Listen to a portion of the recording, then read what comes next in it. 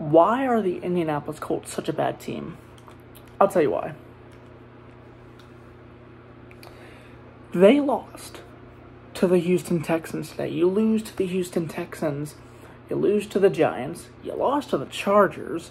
You lost to the Vikings, which you had a 33 to nothing lead. Um, Matt Ryan can't do anything to save this whole team. Uh, Jonathan Taylor was out for the year after an ankle injury.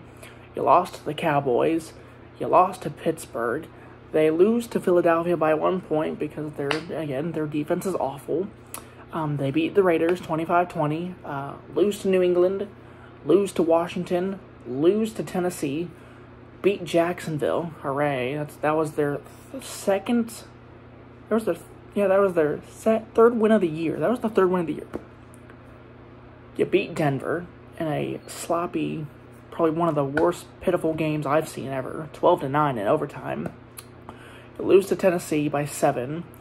You beat Kansas City. I don't know how you beat Kansas City, but the Colts beat Kansas City. Uh, you lose to Jacksonville 24 to nothing, and then you tie with the Texans. Jim Irsay and Chris Ballard have got to go. If they want another Andrew Luck or another Peyton Manning, they've got to go and bring in a whole new GM, bring in whole new staff, um, new head coach. I mean, everybody's got to go. Just, just start over from scratch. The downfall of the Indianapolis Colts is immense. There is nothing, nothing that the fans can do. They have nothing to write on that's positive. Matt Ryan is should retire.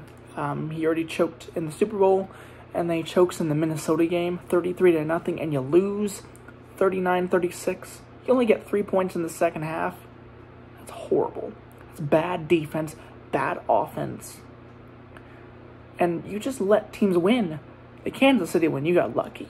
Let's just put that out there. The Kansas City win, the Colts got lucky. The trash talk is what let Matt Ryan hit. Um, who was it? Was it Mo Alie-Cox for the win or Alec Pierce? I don't know. But I don't care what matters is that the Colts need to restart, need to tear down Lucas Oil. They don't actually, they don't need to tear down Lucas Oil Stadium, but they need to redo the entire franchise. Get rid of uh, Jim Irsay, get rid of Chris Ballard, um, start in with a new GM, um, new new coordinators, new coaches, new coordinators, new everything. Get rid of the roster, scrap that roster. They're the highest paid offensive line in NFL. Jonathan Taylor coming back as the Russian King of the Year. The only he only won last year because Derrick Henry got hurt. This year, Jonathan Taylor just just went to the dump. So did Matt Ryan. Everybody was very positive about Matt Ryan, saying, "Hey, he could be the issue. He could be he could fix what Wentz did, what Philip Rivers did." Even though Philip Rivers brought them to the playoffs in his first year, brought them to the playoffs in this first season. Should have kept Philip Rivers but you didn't.